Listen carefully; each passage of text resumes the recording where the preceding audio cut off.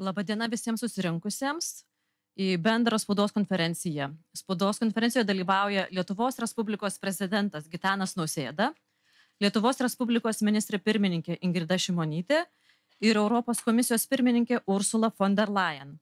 Kviečiu pradėti pasakymą, pradinį žodį Respublikos prezidentą Gitaną Nausėdą. Ačiū labai.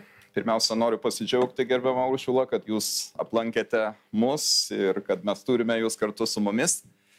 Iš tikrųjų, yra daug ką prisiminti, e, tuos nueitus nelengvus etapus, kuomet mes svarstėme Europos taryboje daugiametę finansinę perspektyvą ir ekonomikos gaivinimo ir e, atsparumo planą. E, nelengvos tai buvo dienos, mes Lietuvos liaudyje turime tokią dainą - kelios dienos, kelios naktys, tai štai tiek tęsiasi mūsų dėrybos, bet pagal, pagaliau buvo pasiektas rezultatas, kurio vaisius jau dabar galime skinti ir galime jais naudotis. E, tai be jokios abejonės vyko ir jūsų e, pastangų dėka. Aš taip pat norėčiau padėkoti Jums už didelės pastangas, kurias Jūs parodėte vakcinavimo proceso metu ypatingai e, gerinant vakcinos tiekimą šiandien mes jau nebeturime pagrindo skųstis kad mums vakcinų trūksta ir e, permetame visą savo dėmesį į kitą sritį. Kaip galima daugiau žmonių paskiepyti iki vasaros vidurio na taip pat e, prisimenu ir puikų susitikimą ir renginį kuomet mes e, svarstėme ir priėmėme sprendimą dėl sinchronizacijos projekto įgyvendinimo kuriam europos komisija skyrė virš vieno milijardo eurų taip pat e, šiandien turėjome galimybę su jumis e, diskutuoti taip pat ir tais klausimais kurie nėra tokie malonūs ir kurie šiuo metu tikrai e, kelia didelį galvos skausmą. Tai yra pirmiausia nelegali migracija iš baltarusijos kaip užkardyti ją kaip pagerinti mūsų sienų kontrolę ir šiuo atveju tiek institucinis bendradarbiavimas tiek diplomatinės politinės pastangos tiek be jokios abejonės ir finansiniai resursai e, yra būtini siekiant kaip galima greičiau užkardyti šituos kelius kuriuos baltarusijos režimas specialiai atvėrė tam kad pasiektų migrantų antplūdį ir migrantai laisvai galėtų patekti į sąjungos teritoriją. Tikiu kad e, jūsų vizitas taps puikia proga startuoti įgyvendinant ekonomikos gaivinimo ir atsparumo planą vienas iš projektų šiandien mes jį matėme ir planais pasidalinome. E, be jokios abejonės tai turėtų įgyvendinti Lietuvos žalios, skaitmenizuotos, inovatyvios, stiprios Lietuvos idėją, kurios mes visi, tikiuosi, labai draugiškai ir solidariai siekiame. Na ir pabaigoje aš tiesiog norėčiau dar kartą priminti, kad turėjau progą įteikti gerbiamai e, Uršulai von der Leyen kvietimą į kultūros Kauno Europos kultūros sostinės 22 renginius e, kitų metų sausio mėnesį ir tikiuosi, kad jūs savo įtemptoje dienotvarkėje rasite galimybę mūsų aplankyti ir pagerbti savo atvykimu. Ačiū dar kartą labai. Dėkojame Respublikos prezidentui. Įžanginiam žodžiui kviečiu Respublikos ministrę pirmininkę Ingridą Šimonytę. Ačiū. Gerbiamas prezidentė, gerbiama Europos komisijos pirmininkė, mėla Ursula. Šiandien svarbi diena Lietuvai. Šiandien žymime tam tikrą labai svarbaus proceso etapą. Europos komisija patvirtino Lietuvos ekonominio transformavimo ir atsparumo didinimo planą naujos kartos Lietuva. Pirmiausia, norėčiau padėkoti visiems prisidėjusiems prie rengimo ir tobulinimo - ministerijoms, socialiniams ir ekonominiams partneriams, ekspertams, visuomenės atstovams. Laikas tikrai buvo labai trumpas, vyriausybė tuo pačiu metu turėjo ir spręsti pandemijos iššūkius, ir planuoti savo ketverių metų veiklą, ir paruošti paraišką šitam precedento neturėjusiam ES vadovų taryboje sutartam paramos paketui. Tuo pačiu noriu labai padėkoti Europos komisijai ir žinoma pirmininkiai už lyderystę ir labai glaudų bendradarbiavimą su vyriausybe viso plano rengimo metu. Jūsų petys buvo visada tada, kada vyriausybei to labiausiai reikėjo. Lietuvos verslas atlaikė pandemijos išbandymus, todėl rengdami planą sutelkėme dėmesį ne į ekonomikos gaivinimą, bet į reformas, kurios stiprins Lietuvą ir padės jai pasirenkti ateities iššūkiams Plano įgyvendinimui skirta daugiau nei 2 milijardai eurų. Jie pasieks Lietuvą dalimis iki pat 26 metų pabaigos. Tai labai svarbus šaltinis, tačiau žinoma ne vienintelis, nes jis yra greta nacionalinių ir kitų ES paramos fondų. Todėl šias lėšas numatėme platesnėme kontekste, derindami su kitais finansavimo šaltiniais, siekdami maksimalios naudos ir maksimalios pridėtinės vertės planą susijęjome su vyriausybės programos įgyvendinimu. Tai suteiks planuojamoms reformoms ir investicijoms politinį palaikymą, būtina jų įgyvendinimui. Planas naujos kartos Lietuva tai ateities strategija, padėsianti pagrindus ekonomikos transformacijai link aukštos pridėtinės vertės, šalies ekonomikos skaitmeninimui ir žalinimui, geresnių švietimo, sveikatos, socialinių paslaugų teikimui teisingesnės ir visapusiškai atsparesnės šalies kūrimui. Trys svarbiausios Lietuvos pasirinktos kryptis apima žalį į kursą, skaitmenizaciją, švietimą ir inovacijas. Neatsitiktinai susirinkome viename iš Litgrid projektų.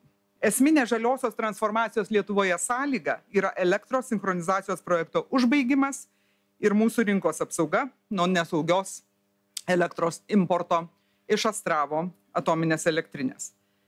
Žaliajam kursui skirta 37 procentai lėšų, tačiau per horizontaliai taikomus reikalavimus taip pat išmanę renovaciją, statybų sektoriaus žalinimą, žaliuosius pirkimus šiais ryčiai realiai teks gerokai daugiau lėšų. Stiprinsime darnų judumą, skatinsime energijos taupimą ir atsinaujinančios energetikos gamybą.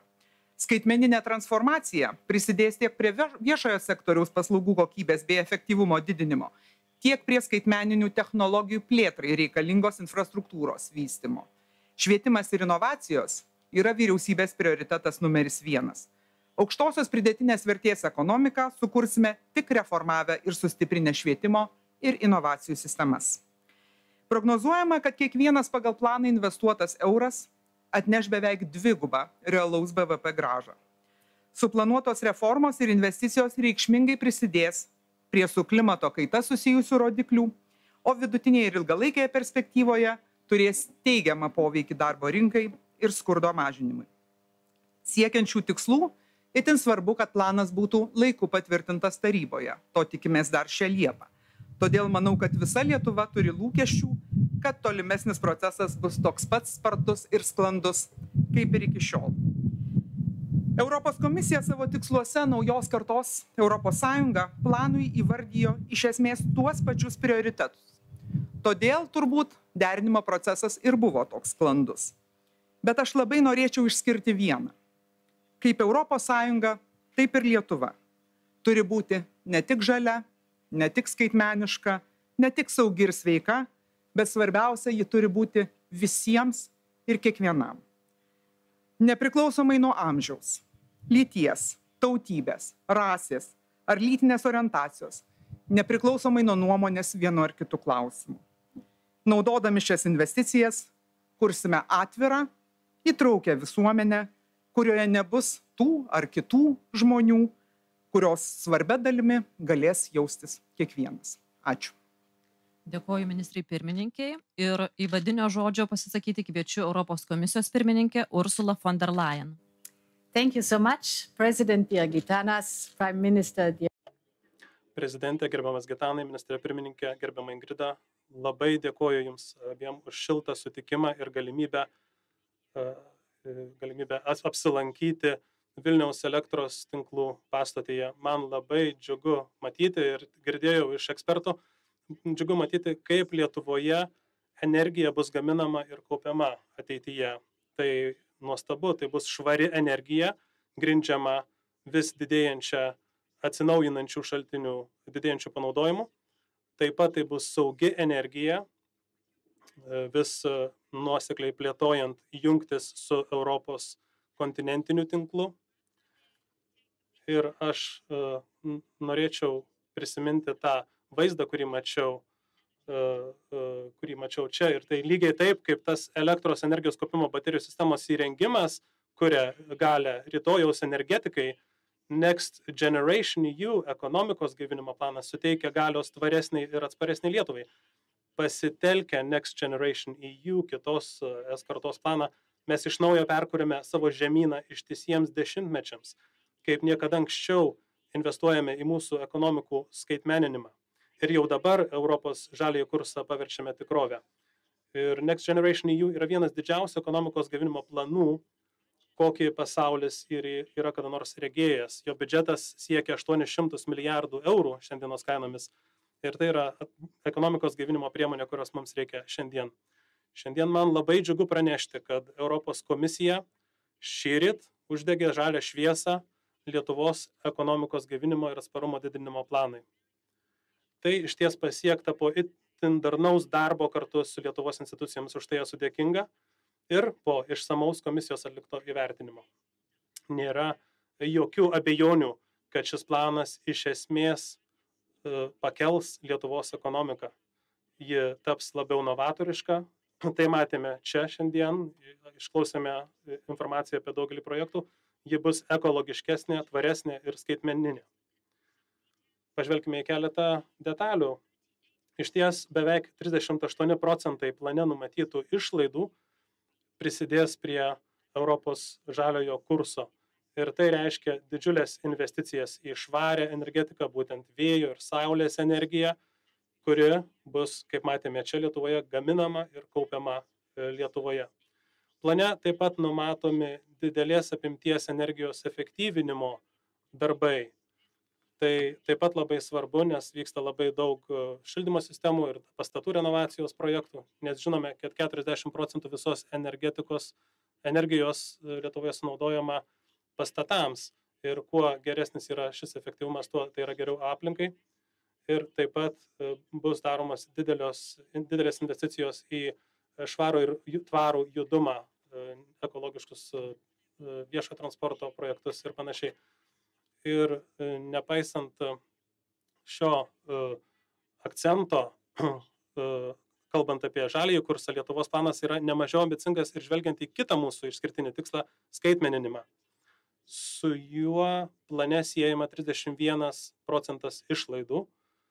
Ir tiesiog keletą pavyzdžių galima paminėti. E, tai bus labai investi reikšmingos investicijos daromas į 5G ir didelės spartos tinklų plėtrą, taip pat į viešųjų paslaugų skaitmeninimą, tai bus gera Lietuvos verslams, Lietuvos žmonėms, bus suskaitmenintos viešosios paslaugos, Taip pat bus didelės investicijos į dirbtinio intelekto sprendimų lietuvių kalba sukūrimą. Ir yra dar trečias aspektas, kurį noriu pabrėžti. E, tai būtent, kad jūsų planas siekia sustiprinti ir nacionalinės sveikatos priežiūros sistemą. Mes jau visi išmokome pandemijos, COVID pandemijos pamokas ir man labai džiugu matyti, kad bus uh, tobulinamos E, esamos medicinos įstaigos e, bus toliau plėtojama e-sveikatos sistema ir e, matau, kad planuojate sukurti penkis užkrečiamųjų lygų ekspertizės ekspertinius centrus. Ši investicija yra labai toleregiška ir išmintinga, nes, kaip jau minėjome, mes iš pandemijos pamokas išmokome, ir ištisus dešimtmečius mes manėme, kad infekcinės lygos e, vis mažės, o reikia daugiau skirti dėmesio chroniškoms lygoms. Tačiau dabar man, matome, kad atsiranda naujos užkrečiamosios lygos, tokios kaip COVID-19 ir mums reikia būti geriau pasirengusiems. Todėl ši investicija yra daroma laiku ir labai e, protingai. Taigi bendrai paėmus, e, jūsų planas akivaizdžiai atitinka griežtus mūsų kartu nusistatytus kriterijus. Plane atsispindi gera reformų ir investicijų pusiausvyrą, kalbant apie investicijas į švietimą taip pat. E, tos investicijos iš ties perkeis Lietuvos augimo modelį. Tai leis sukurti geresnę ateitį Lietuvos žmonėms. Todėl mūsų pritarimas šiam planui yra svarbus etapas, išmokant numatytusius du ir 20 milijardus eurų per keletą ateinančių metų. Ko dabar reikia, tai tik tai tarybos pritarimo per artimiausias keturias savaitės ir tada mes būsime pasirengę išmokėti pirmasis lėšas jau e, šį mėnesį. Ir mano paskutinis pastebėjimas. Mes esam pasiekę tam tikrą tikslą jau, tačiau tai ne pabaiga, tiksliau yra atvirkščiai. Sunkus darbas prasideda dabar. Tai bus įgyvendinimo ir dar kartą įgyvendinimo darbas.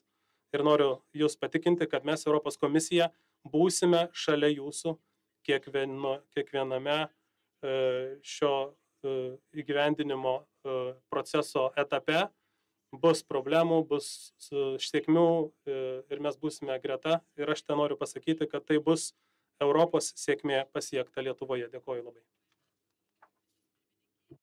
E, laiko turime dviem klausimam. Prašyčiau prisistatyti, nurodyti žiniasklaidos priemonę, kurią atstovaujate ir kam norite užduoti klausimą. E, sveiki, esu Vaida Kalinkaitė Matuliauskinė, portalo LRT LT žurnalistė ir turėčiau klausimą poniai von der Leyen jeigu neprieštaraujat, užduočiau lietuvių kalbą. Tai Lietuva yra jau berots 14 šalis, kurią aplankote būtent siejant su atsigavimo planu. Kaip mūsų planas ir kaip Lietuva atrodo kitų valstybių kontekste?